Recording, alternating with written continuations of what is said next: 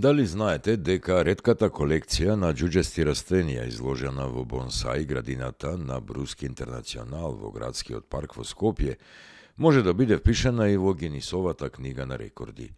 Македонската зеленика, Вардарска долина, стара 350 години, има стебло со широчина од 32 см, што е за три пати поголемо од актуелниот рекорд, кој е 10,4.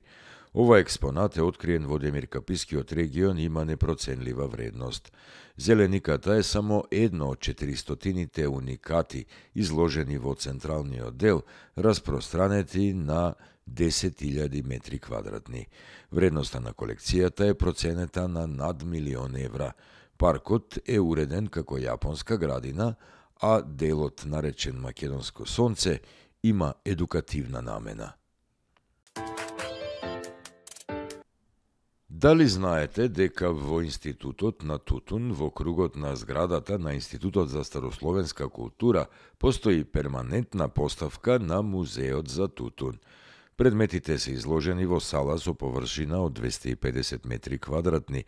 Во 24 витрини се сместени 750 експонати.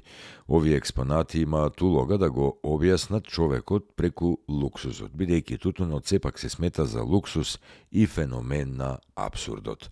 Музеот, освен експонатите, ги собира и вистинитите приказни кои одат со нив.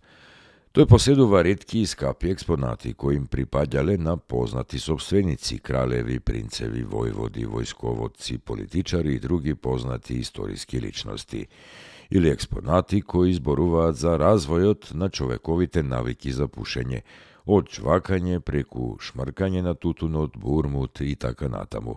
Помеѓу попознатите експонати спаѓаат султанското луле од Крим, чибукот на Романови, лулето на надвојводката Ана, табакерата од вториот поход на Христифор Колумбо, а некои од нив се набавени од изложби во Виена и во Париз.